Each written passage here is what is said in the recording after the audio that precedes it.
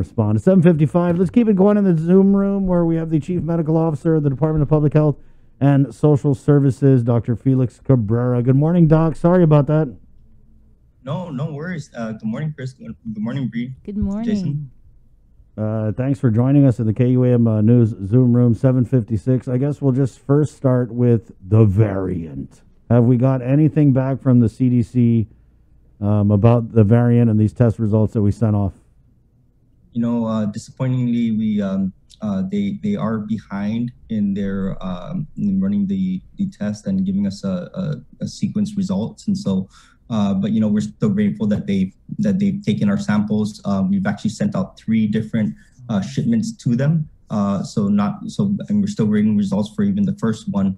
But nonetheless, they um, they are you know, basically samples, and based and what I mean by that is that they're giving us stamps in time also of when these samples were these these specific um, COVID uh, viruses were here. We know we'll, we will even know what their sequences are, and if there are any other strains that are identified later, we can always reference them. And so, uh, so even though they're they are uh, you know late, uh, it's they're still extremely valuable, and we, we appreciate that they're they will eventually be sequenced.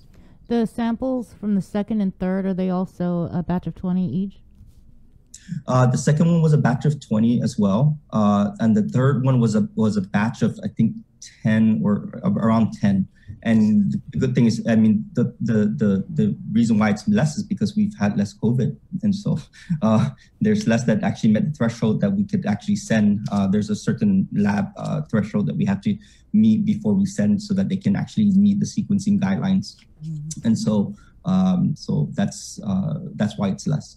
Is there any m- movement or discussion or even a need to try and uh, uh, be able to do this genomic testing here on, on Guam? Or well, it's even... really, you know, when I was in, I think undergrad, um, yeah, when I was in undergrad, that was the first time that the human genome was sequenced, mm-hmm. and that was a tremendous uh, leap in in science. And so to sequence um, multiple viruses, you know, in a, in a streamlined fashion, that's that's a big undertaking, and that that's why it's um, not something that's typically done. There, um, you know, other countries are way ahead of the United States in, in, in doing that. For like Australia, like sequences half of their viruses mm-hmm. uh, that they identify. Of course, they don't have that many, but they are able to do that. And so, but unfortunately, no, there is no uh, uh, uh, we don't foresee doing that locally, uh, just because the, the tremendous resources that it will take for that. Okay. Let's move on to the other V word, uh, vaccines. Uh, was it today is the day that we were crossing our fingers to get the uh, uh, next shipment to the next allotment? Is it here or is it arriving later today? Uh, you don't have to cross your fingers anymore because last night we got 14,200 Moderna vaccines that arrived in good condition. All right. So we are extremely excited about that. Um, you know, it's um, gosh, when you, you just think about that, that many for just Moderna, and then when you when uh, and then what we're expecting, uh, likely even today, uh, is Pfizer's shipment of 21,060 vaccines. And so, man, you go from like, you know, it's like you go from being starving here to, you know, a to um, smorgasbord, whatever the word is. and then, and then on top of that, then the cherry on top of that is Johnson and Johnson coming as well. And we don't have an expected time of arrival, but we're expecting about 1,300 uh, vaccines uh, of, of Johnson and Johnson and so that will probably uh, arrive here within you know less than a week from now and that's you know only gonna you know really uh, allow us to to to offer more and more and more people vaccines mm-hmm. and so we're really excited about that yeah i'm glad uh, you mentioned johnson and johnson because that actually was one of the things i was going to ask you about and i wanted to talk about this is a, a one and done uh, uh shot right yes one it is a one as of right now, it's a one and done shot. They are looking at what it might mean to get a booster. Uh, so so those studies are still ongoing, and we'll you know maybe find out something about it in the next uh, several months. but right now it is one and done. Uh, the the key, the absolute key part here is like never mind talking about the efficacy with uh, getting COVID 95% versus 72%. Uh, you know, between Johnson and Johnson versus the Moderna and, and Pfizer one. What we need to keep clear in our mind is that the that the, the one thing that all three of them have in common is that they are virtually 100% effective at preventing hospitalization and or death from COVID. And that's what we care about, right? Yeah, you can get COVID, you'll get sick, and, and, and you may, you, you, you know, and most people will recover from it. But what we really care about is not flooding the hospital and people not dying from COVID. And Johnson and Johnson does it just as effectively as Moderna and Pfizer. So if I walked into UOG and they said, and it's like, I want my first dose, um, I'm eligible, and they said, oh, well, all we have is Johnson and Johnson for that. I, I personally take it. I'll take it. I, if it was my mom, I say, mom, take it. You know, and my aunt, my whatever, take it because it's it's that's what we care about, and that's um and and we we and that there's very good data that supports that. Mm-hmm. Even with what's known right now about certain um, uh, variants that are out there, that the the lie the the real world data is showing that it is uh, that there are uh, the, the the protection is is consistent, and so we we we are very very encouraged by that. Doc, I, I just wanted to ask uh, because there was a story that came out of um, NBC News. Uh, in the Bay Area. In the Bay Area, a Catholic Church voices uh, concerns about Johnson and Johnson uh, vaccine, and, and just I guess if you, if you could maybe address this. Uh, there's controversy within the Catholic Church after a prominent association of bishops raises moral questions about the newly approved Johnson and Johnson vaccine. Uh, this is local parishes in the Bay Area are trying to overcome several obstacles of getting their members vaccinated. Uh, the U.S. Conference of Catholic Bishops claim the vaccine is linked to cells derived from aborted fetal tissue. And that raises moral concerns because of the church's obvious opposition to abortion. Yeah. So I that's news to me. Um, I'm not aware of the, the cell lines that were used in any fashion. Um, what we do know that's different about the Johnson and Johnson uh, vaccine versus um, the Pfizer Moderna is that the the basically the the the packaging of what really is effective uh, uh, in the vaccine is is very different. It's actually an in an, what's called an adenovirus, which is known to cause the common cold but in this case, it's a very inactivated adenovirus. So uh, it holds the genetic material that goes into your body and makes, and eventually you make the same M- mRNA uh, that um, that creates the proteins. That's that spike protein on the on the, the coronavirus, and that's effective. Now, what may have been studies, and, and I'm only presuming here, purely presuming, because this you're just telling me this, and I'm just learning this about this uh, controversy I presume that there may have been uh, fetal uh, uh, uh cell lines that were uh, that may have been part of the early parts of the research of this uh, process. Now, I, what I do recall is that President George W. Bush was the ones who said no more fetal cell lines, but the ones existing can still continue and be replicated and, and be used for, for research purposes.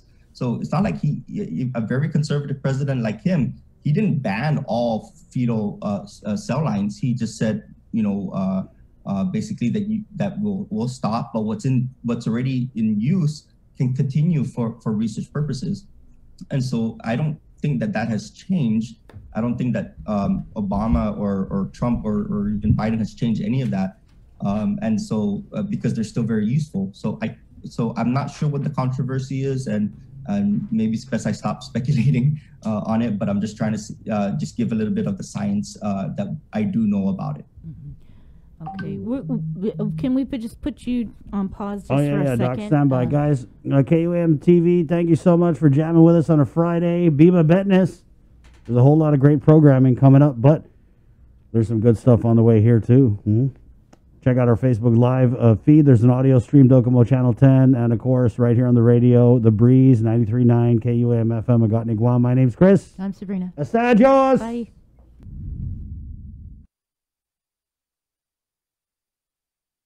And we're back. Dr. Cabrera, as you were. Sabrina? Um, so I, uh, yeah, I guess maybe we could follow up on that uh, a, a little bit later, since you're just kind of uh, hearing about it right Yeah, now, and, yeah. and we just kind of sprung it on you. Yep. Uh, but what I, you, you talked about the commonalities, really about you know the the vaccines, and you know the one thing that it does is that it prevents hospitalizations, right, and, and uh, death. Uh, but I wanted to ask about, uh, you know, uh, are the, the side effects are are they are they different from the other two?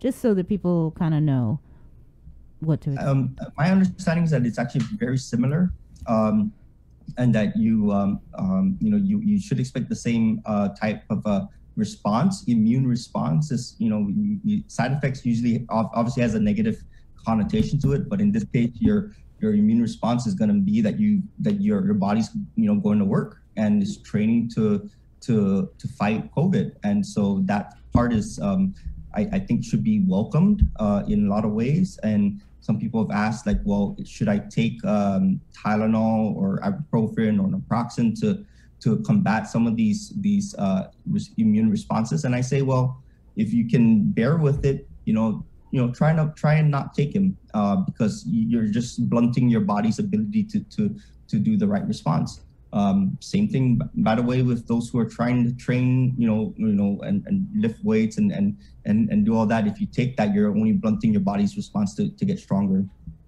That being said, uh, I took some naproxen when I had a headache after my second dose. So, so I'm being, I'm being honest. It, it was it was, it was to the point where I it was tough to do activities of daily living, and when that when it comes to that point, then you go ahead and take it. Uh, but yeah, so I'll just say that. What about uh like uh like age limit, you know, things like that? Like who who would you recommend more to Uh, take it or who can't take it? they're, yeah, they're 18 and over for the Johnson and Johnson. Um, but what's encouraging is that they started early their uh, trials for children, um, and they started it, uh, you know, quite early. So we actually may even get results for younger uh, uh, persons eligible for the Johnson and Johnson before we even get results for uh, uh, Pfizer or Moderna.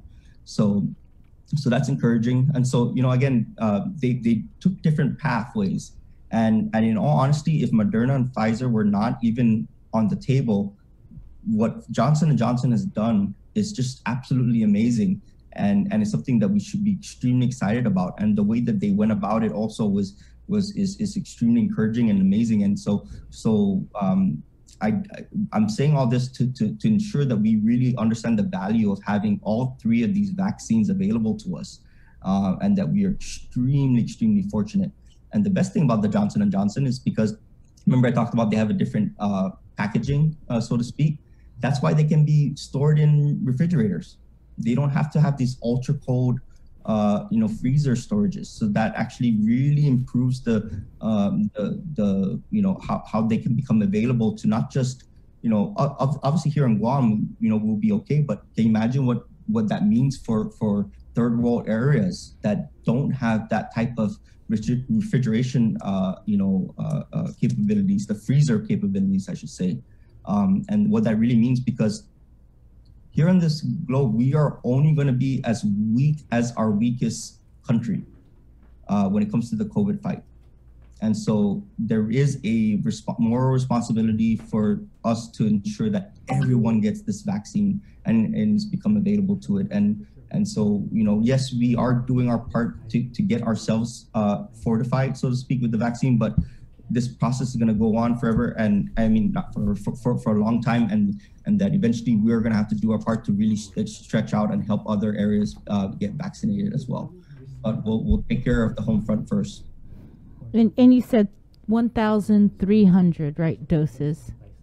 Yeah, 1,300 is what's uh, what's slated to come to Guam uh, first, and then in all like, and then they say 10, uh, 100 million uh, or so by the end of. Um, um, sorry, let me just.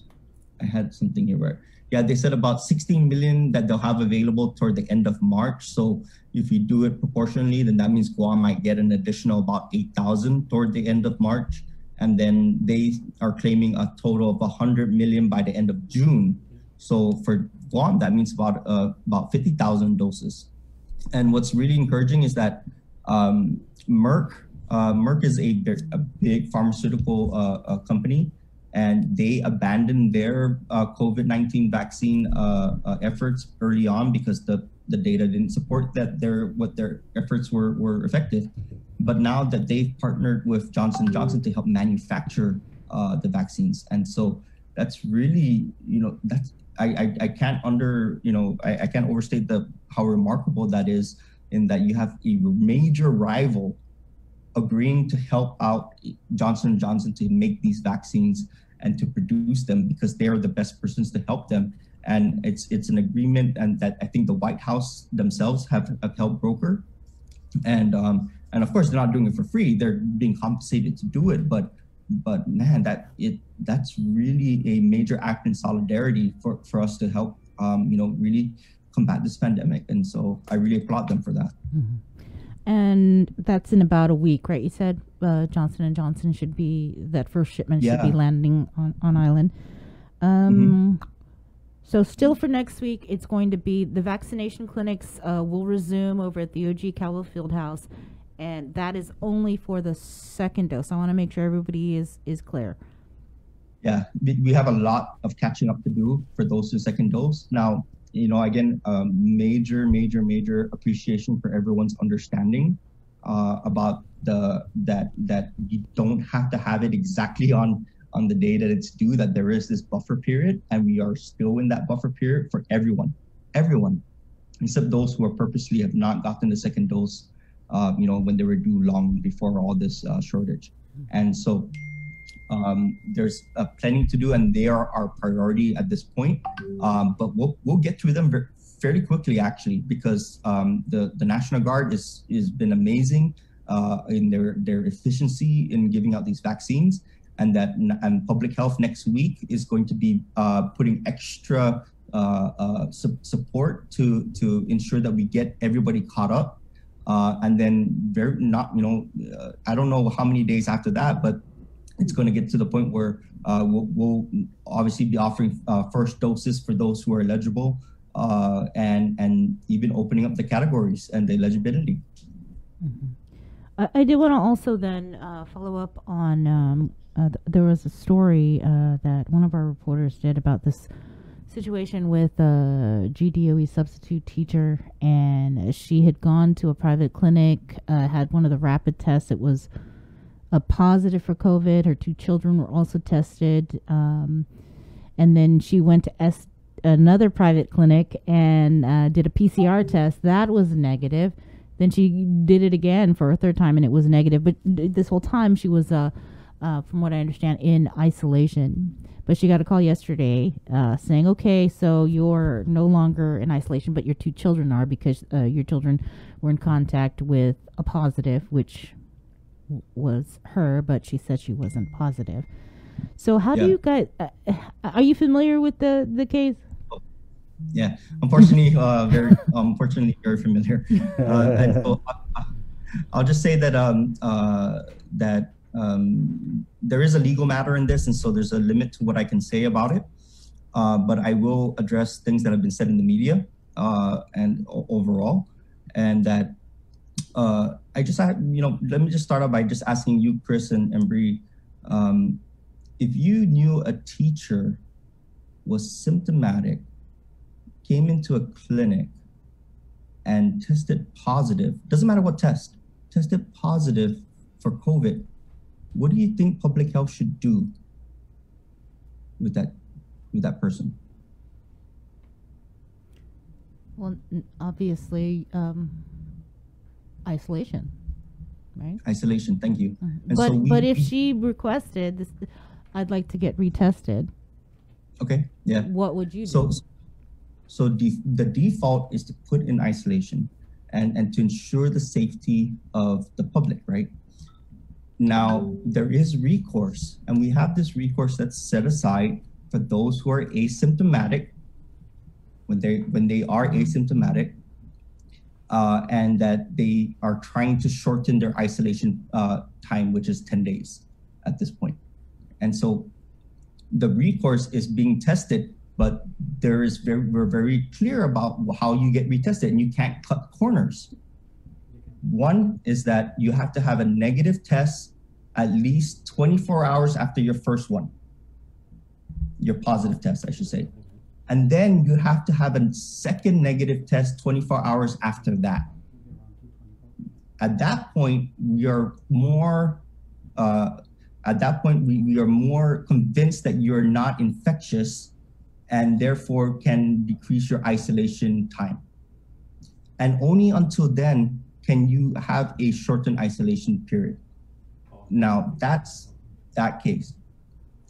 Anybody that you've been exposed to when you're considered uh, in isolation because of a new COVID case, they're in quarantine. Quarantine is a different story. Quarantine's different requirements because quarantine, you you don't know what's going to happen to that per to those people in quarantine, how they're going to respond. Are they going to become symptomatic?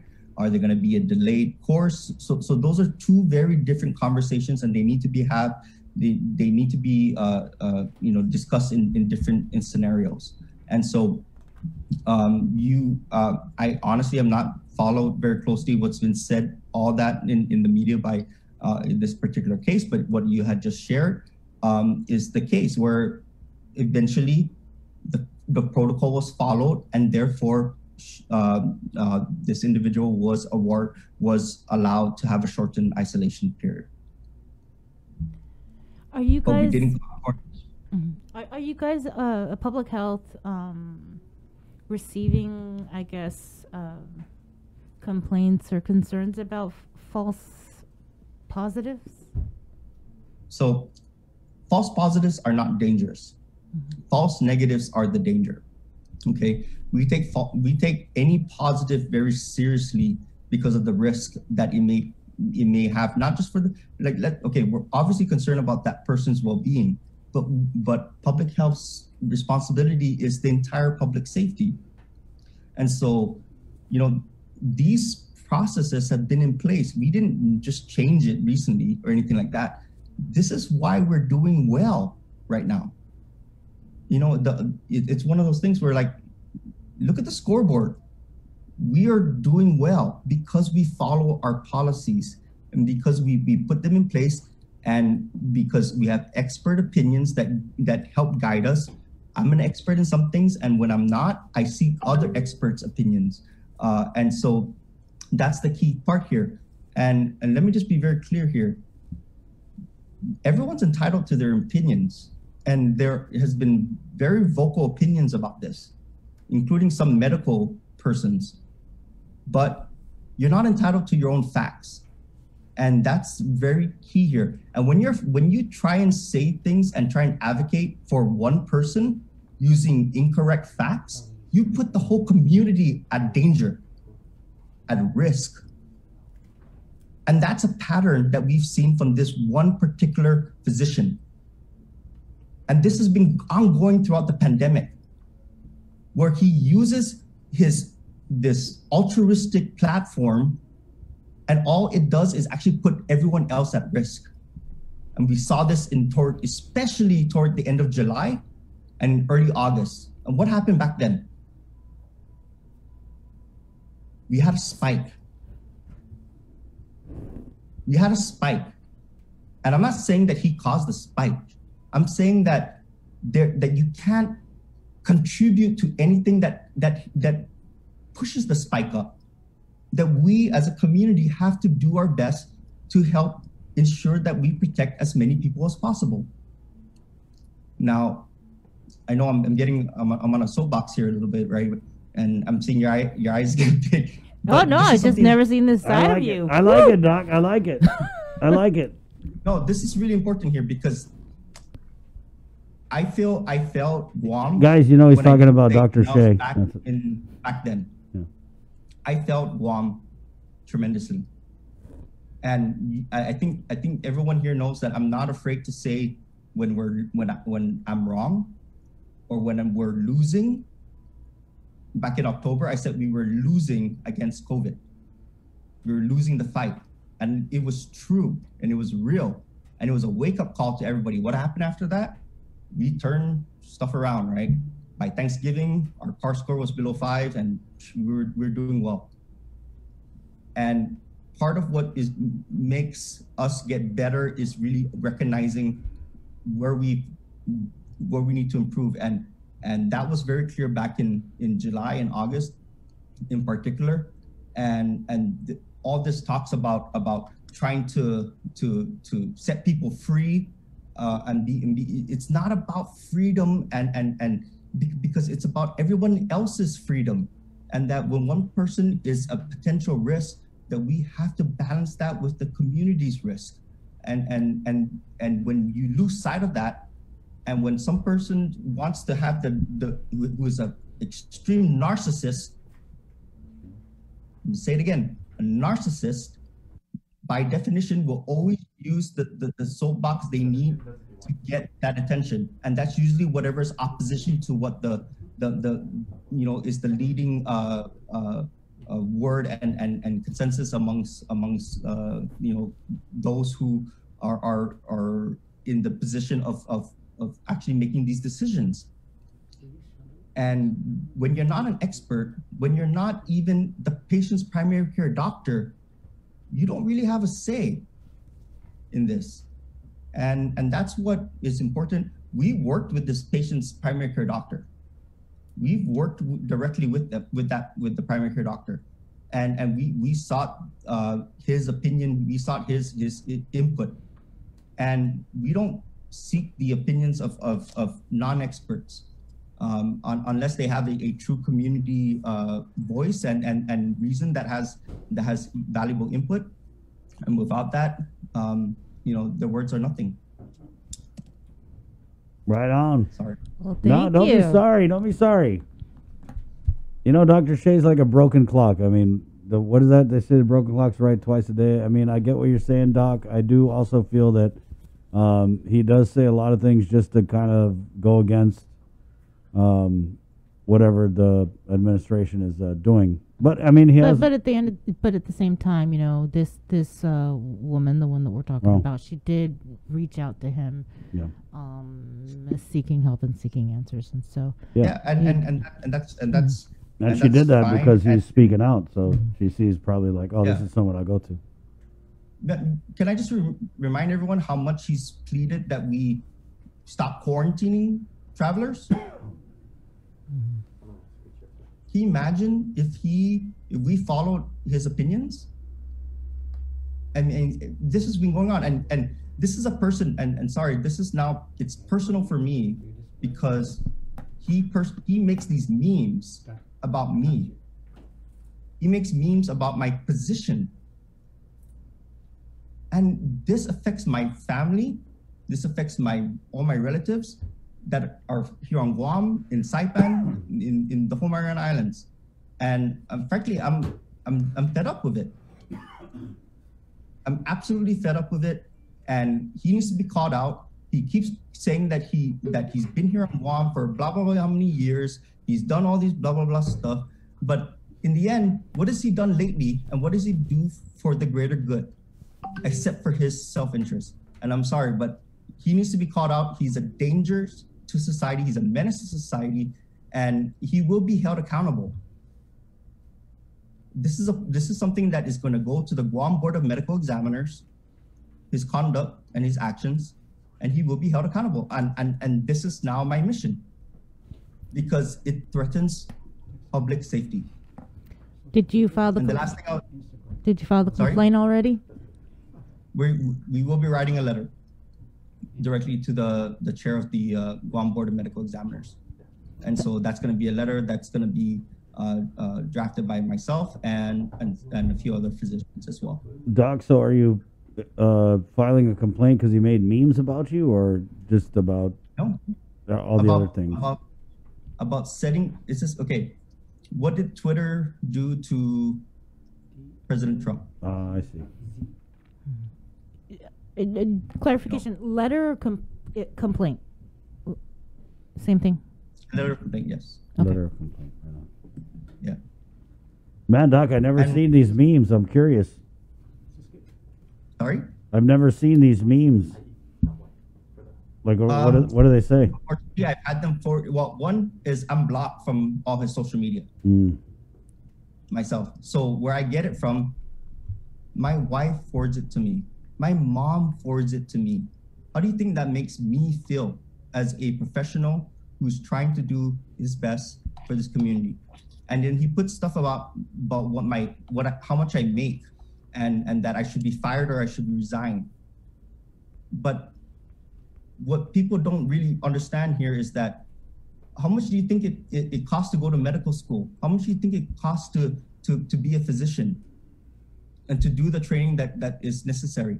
And in the end, what something I, I, I, I've- resisted saying so many times here, but I'll say this. It was a pay cut to take this position, and I do it with pride, yeah. and I do it because it's important. And, All right. and, Yeah. and But Doc, but Doc, I, I know you understand that as a public employee, like people are free, and that's tough when people go from like private to public. But but you know is that people can talk smack about how much But you make, you- and, and they can say If you whatever. saw the memes, you, you you see what I mean. Um, you know, but anyway, I don't. I'm doing No, I, I, I, I, I get what you're saying Yeah. because, uh, like you said, like with issues with quarantine, you guys are just trying to protect the community, and you know you do have someone who uh, is a physician um, going against basically what you're, what you guys are Yeah. trying to do. Yeah. But I mean, I could see, just let me play devil's advocate. I could see if he was like a physician who maybe specializes in something that's like respiratory or viruses or anything, but he's an OB-GYN, you know. I, I mean, Yeah, and we, we listen to many oppos- opposing opinions, and these are from people who are physicians that are very well intentioned, and we really listen to them. Um, you know, the, the, well, I'm talking about local physicians, and we listen to them. We really take their points very seriously. They're members of the physician advisory group, um, and and we, we come up with a balanced out, uh, you know, uh, recommendations for the governor, and and and in the end, that that's what's you know, that's what's given us the success that we have today, and we got to maintain that. So what what what are you guys going to ask uh, the Guam Board of Medical Examiners to do? Tell them to stop posting stuff on social media. I mean, what what what are you going to be asking them to do? Re- but revoke Oh, his license or what? only Well, post nice things. Well, all those are good suggestions. You're not going to say. No, I'm not. I mean, that's going to be ultimately up to them, Mm. but it's just going to be a letter of concern that's going to be post that's going to be sent and and and basically, you know, discussing what is the uh, the concerns that not that you know the government of Guam has uh, in terms of of public safety. You know, we, we keep talking about public health, but this is more about public safety uh, overall. Um, and the one thing, uh, you know, it's sorry, I, I do have to leave in in, in a Yeah, minute yeah. here, but I'm just gonna share this one last thing here. This picture right here that you guys see in my background, that's my dad. My dad passed away when I was 12 years old.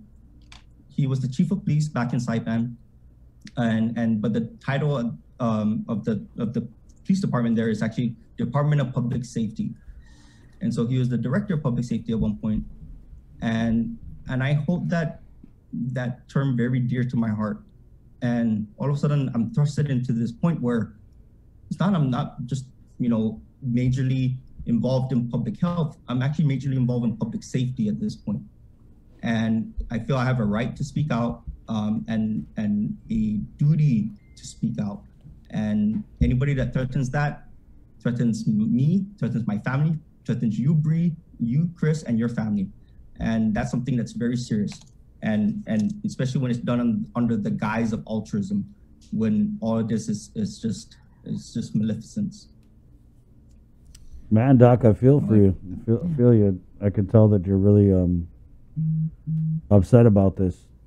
Uh, and I get what you're saying. I feel like when you got a DR attached to your name, there's a certain sense of responsibility, right? I mean, I'm not coming down one side or the other, but that's kind of your argument is that people listen to doctors, and when you have doctors saying things that that you guys feel are irresponsible, then um, Yeah.